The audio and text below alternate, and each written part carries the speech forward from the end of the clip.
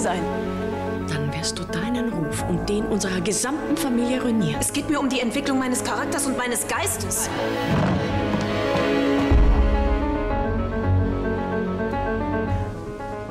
Luise von Salome. Die größte Philosophin unserer Zeit, Friedrich Nietzsche.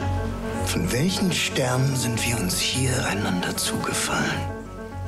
Ich hatte heute Nacht einen Traum. Wir lebten zusammen. Eine Kameradschaft mit dem Ziel der geistigen Vervollkommnung. So habe ich mir das vorgestellt. Das ist die Frau, von der ich immer geträumt habe. Und du lässt dich von ihr hinabziehen. Sie machen ihn lächerlich. Sie machen unsere ganze Familie lächerlich. Die schmutzige Fantasie liegt immer im Auge des Betrachters.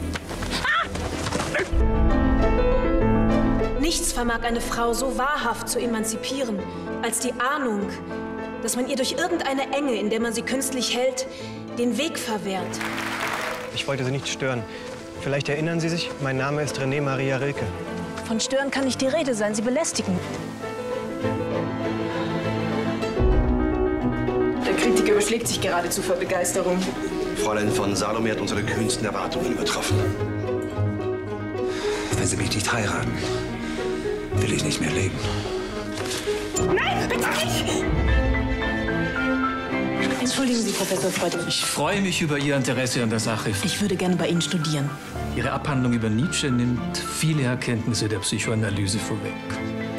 Ich fühle jede Regung der höheren Seele in ihm. Und ich liebe nichts mehr an ihm als diese Regung.